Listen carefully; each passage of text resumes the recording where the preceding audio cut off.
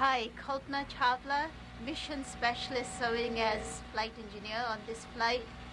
Uh, it has been a long road for us, but like Willie said, today though even it started as a rainy, gloomy day, but it was almost like the sun had finally shone at dusk time. So I'm very, very happy to be here.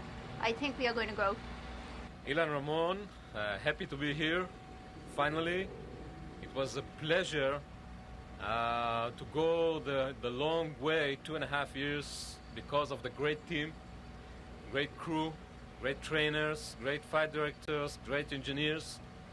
The route to the target is more important than the target. We are going to go for the target, but we enjoy the, the route as well. Happy to be here and thank you.